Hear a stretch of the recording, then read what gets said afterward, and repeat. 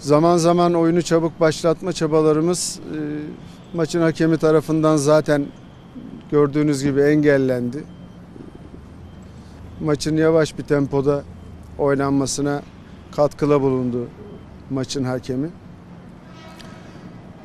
Biz bugün bir yıl dönümünü kutlamak için buradaydık dostlar. Kuruluş yıl dönümümüzü. Bugün rakibimiz kim olsa, olsaydı bu stat yine 50 bin kişi olacaktı. Yine dolup taşacaktı. Biz kendi yıl dönümümüzü kutluyoruz. Bunun mutluluğunu yaşıyoruz. Her sene de kutlamaya devam edeceğiz. Bu maçın önemiyle ilgili başka şeyler düşünmeyin. Altında başka şeyler aramayın. Biz doğduğumuz günü kutladık bugün. Onun için bu kadar taraftarımız geldi. Onun için böyle omuz omuzaydık. Böyle birlikteydik.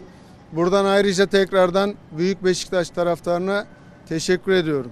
Talihsiz bir şey yaşadık bugün. Ee, onu sizinle paylaşmak istiyorum. Bugün Galatasaray yönetimini ağırladık. Maçın sonuna kadar. Burada hep beraber maç seyredildi, yemek yenildi. Ancak daha henüz Galatasaray yönetimi stadı terk etmemişken kurumsal olarak Galatasaray Kulübü'nün yazdığı bir tweet'i gördük. Başkanımız onların yöneticilerinden bu tweet'in derhal silinmesini istedi. Önce silineceğini söylediler. Tweet hala silinmiş değil bildiğim kadarıyla. Ki sabah bundan çok daha ağır bir tweet hemen çabucak bir şekilde silinmiştir. Biz Beşiktaş'ız.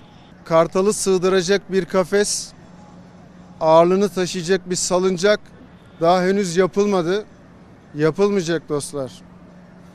Çünkü Kartal zaten yükseklerde uçar. Biz rakiplerimizle sosyal medya aracılığıyla konuşmak, görüşmek istemiyoruz.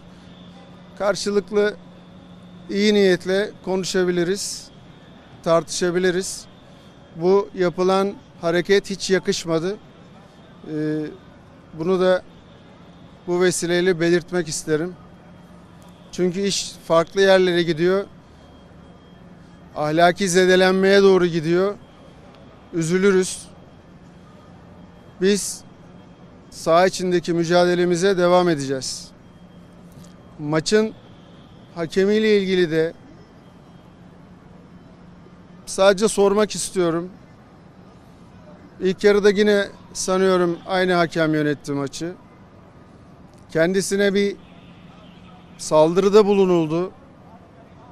Sonra birdenbire tekrardan böyle bir maça e, veriliyor. Bir tane penaltı pozisyonu var. Ki bize genelde vardan çağrılmıyor hakem. Var bizim aleyhimize var, lehimize yok.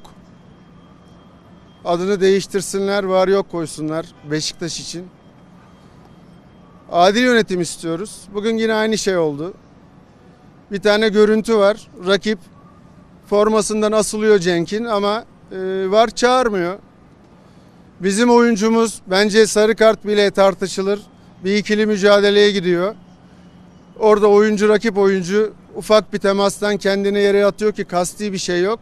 O zaman var çağırıyor ki varın orada çağırması da bir garip, bir enteresan. Niye var çağırıyor? Orada niye müdahale ediyor? Zaten hakem yakında görmüş, sarı kartını da göstermiş.